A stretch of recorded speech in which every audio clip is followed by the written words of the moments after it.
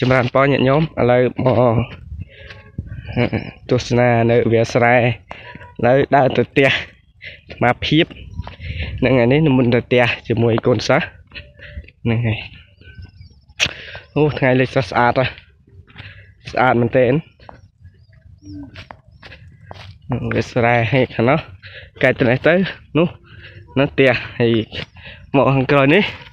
នេះវត្តអញ្ចឹងមកអញ្ចឹងមក ទៅផ្ទះស្មារភាព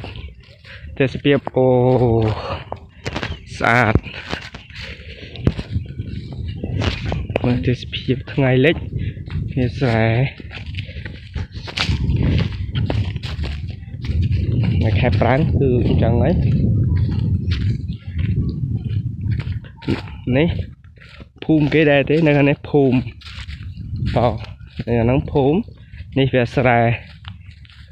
មកឲ្យអារម្មណ៍ស្រស់ស្រាយឥឡូវថ្ងៃនេះបាននិមន្តមកដល់ស្រុកនៅស្រុកជនបទអញ្ចឹងទៅ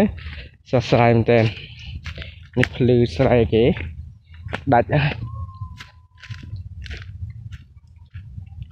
មកទៅតាមភ្លឺហ្នឹងជាមួយកូនសិស្សលោកសម្រាប់พ่อញោមញាតទាំងអស់ឡើយ នឹងឯងចិត្តទៅដល់ផ្ទះហើយណាមុនចាក់តាមនេះជាមួយកូនសិស្សសិស្សនៅក្រោយពេលយាមមកខាងក្រោយអាត្មាហ្នឹងគឺវត្តពេលមកដល់ខាងនេះគឺផ្ទះស្មារភាពហើយខាងក្រោយហ្នឹងគឺទៅដល់នោះភ្នំមានភ្នំយើងដើរប្រហែលជាអឺ10 20 30គីឡូអីចឹងទៅដល់ភ្នំហើយបើហេតុមកដល់នេះត្រជាក់ជាងនៅ ទីក្រុងភ្នំពេញហើយវាអារម្មណ៍ស្រស់ស្អាតនេះ ដើមកសាំងក៏ដើមកសាំងណាមញាតិញោមយកទៅបុកអំបិលបុកអីចឹងណាបើនៅមុនមកចិត្តទៅដល់ផ្ទះហើយ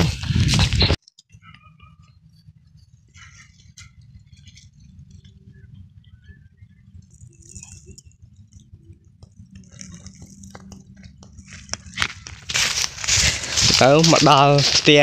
ថ្មភាពអីនេះតាមថ្នោតអ្នកដែលមានអារម្មណ៍ស្រុកស្មាញអីមិនល្អអីនេះអាចមករំហែកាយនៅនេះបាន